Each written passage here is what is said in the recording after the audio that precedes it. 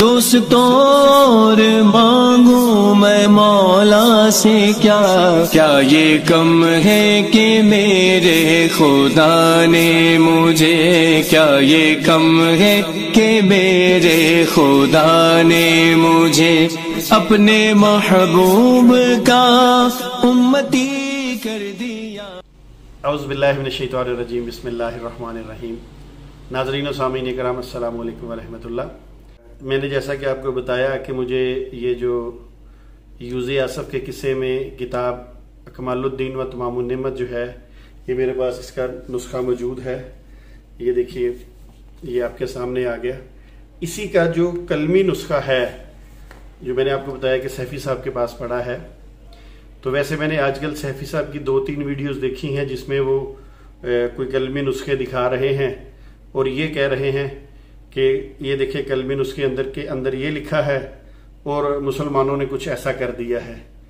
तो सैफी साहब, मेरी आपसे एक रिक्वेस्ट है, जहाँ आपने वो वीडियोस बनाई हैं कलमिन उसके दिखाए हैं तो मैं उम्मीद करता हूँ कि आप कादियानी जमात की खातर झूठ नहीं बोलेंगे। तो आप ऐसा कीजिए कि जिस जो कलमिन उसका आपने मुझे भेजा, कमालुद्दीन व तमाम नमत का, उसका वो पेज भी किसी वीडियो में लगा के दिखाएँ, कि लोगों को बताएँ कि जो रजाई भतीजा कह रहा है कि ये जो शहजादा यूज़ असफ है, ये बादशाह का बेटा है तो वो आप उनको तमाम लोगों को बता दें कि बात रजाई जज सच कह रहा है, इसमें कोई झूठ नहीं है। कलमी नुस्खे के अंदर ऐसा ही मौजूद है। तो इन ताला लोगों को पता चल जाएगा। वैसे तो सबको पता चल चुका है, अल्हम्दुलिल्लाह, जमात को भी पता चल चुका है। मगर मैं चाहता हूँ कि अगर इस सच का आपको पता चल चुका है तो आप इस सच को मंजर आम पर लाइए और फिर बताइए कि ये शहजादा यूज़ असफ कौन था।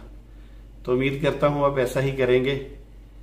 आपको पता है कि आपसे मेरी टेलीफोनिक गुफ्तगु होती रहती थी और आप अक्सर इस बात का दावा करते थे कि शमसुद्दीन मैं झूठ नहीं बोलता। चाहे कादियानी जमात मेरे सामने आ जाए, जो हक सच है मैं बयान कर दूँगा। तो क्या ख्याल है? रजाई भतीजे की बात की तयद करते हुए लोगों को बताएँगे?